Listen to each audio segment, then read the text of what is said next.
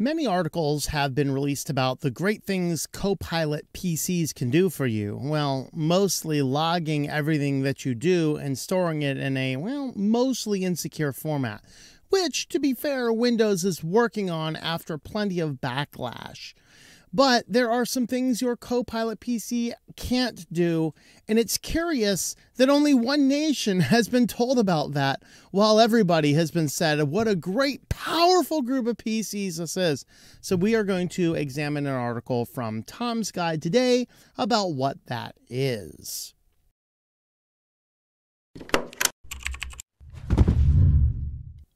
Welcome back to Switched to Linux. If you like this type of content where you, we teach you how and why to switch to Linux, please feel free to subscribe to the channel if you've not already done so.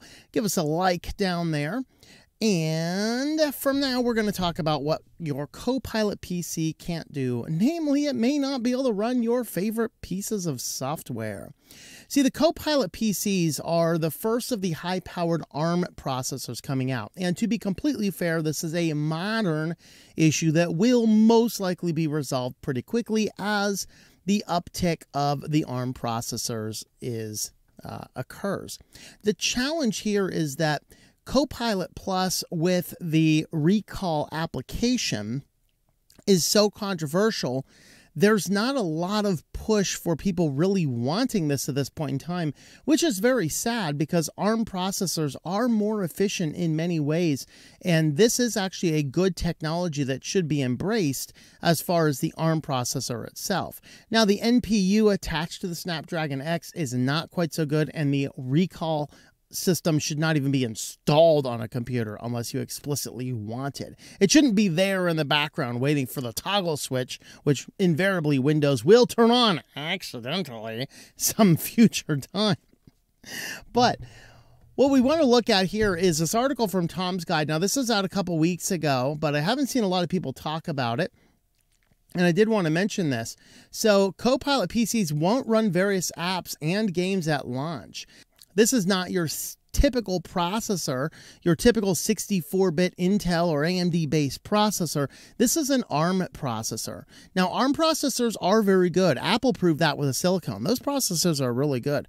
Raspberry Pi are moving along. In fact, we're doing a video here tomorrow on the Raspberry Pi 5 and how good of a system that actually is as I've been doing it my work for web design in production now for six weeks. You do not even know that thing is a Raspberry Pi. It is so good.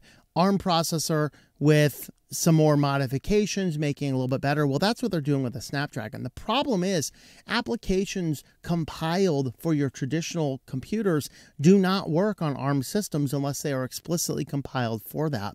Now, some programming languages like Rust, which is being heavily promoted right now, is a system that makes the compiling a lot easier, whereas some older applications would take a lot of extra work to get them running with the ARM architecture.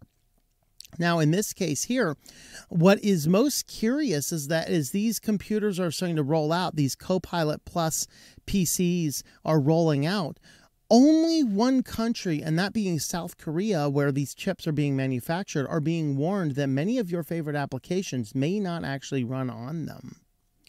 So what they're doing here is, uh, and this press release only went out in Korea, and the original article is only in Korea. Have a look at some of these applications which it cannot do. There's a compatibility notice states that security programs. These are mostly Avast and Kaspersky. Of course, Kaspersky is now banned in the United States, but Avast will not work on these systems. Additionally, uh, several pieces of Adobe software won't. Some of it will, some will not. After Effects, Illustrator.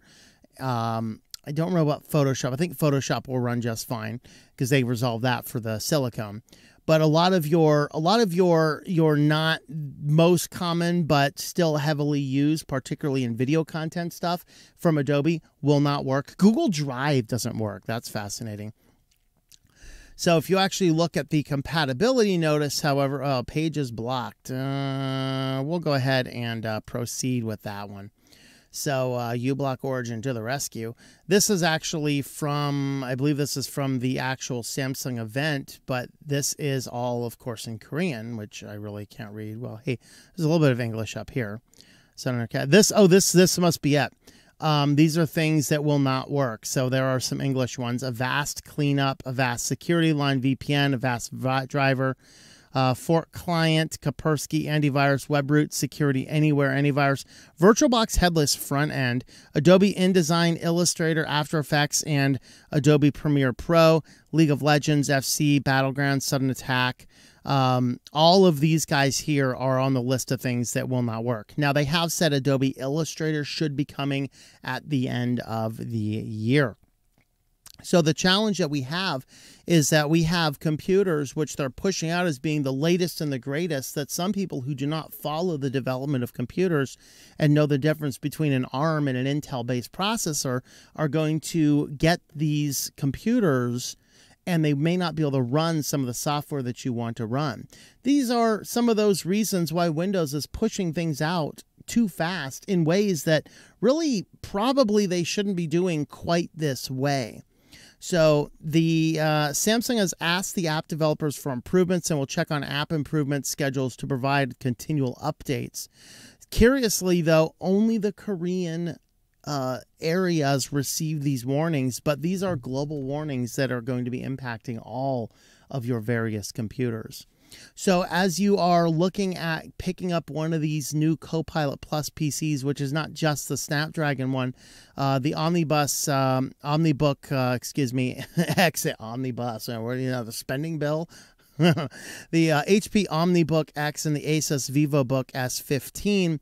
Uh, these would also be under this as they all have that ARM architecture.